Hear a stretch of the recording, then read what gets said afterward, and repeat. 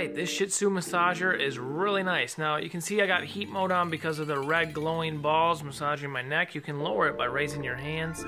Right now I only have one hand in the sleeve because I'm working the camera. Here we have the button guide. So the center button is the power. The uh, top button turns the heat on and off.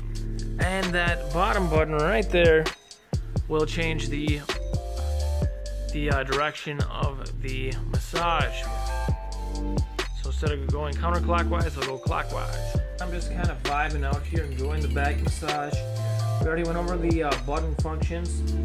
Yeah, this product's made by Wollin, and they sent this out absolutely free for me to uh, review and uh, kind of demo with you guys. If you want to pick one of these up, I'll put a link right below this video in the description for you. What you can do is raise your arms up and lower it down your back for a back massage. Like right now, it's over my shoulder blades. I can go lower. It's my mid back, and I go down my back quite a bit here. Feels incredible, and right now I got the heat on, so I'm loving that.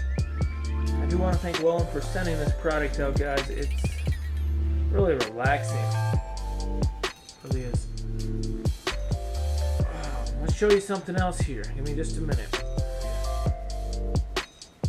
We'll rotate it so it's going the other way. We'll spin the rotation motion. So now it's going the other way. Turn it off here for a minute. I'm going to show you the uh, power.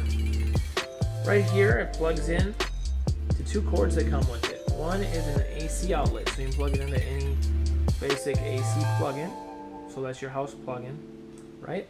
The other one it comes with is a car outlet, so you can plug it into the outlet, or cigarette lighter is what I'm referring to. You can plug it into the cigarette outlet in your car. So whether you're at home or on the go, this uh, great product is usable.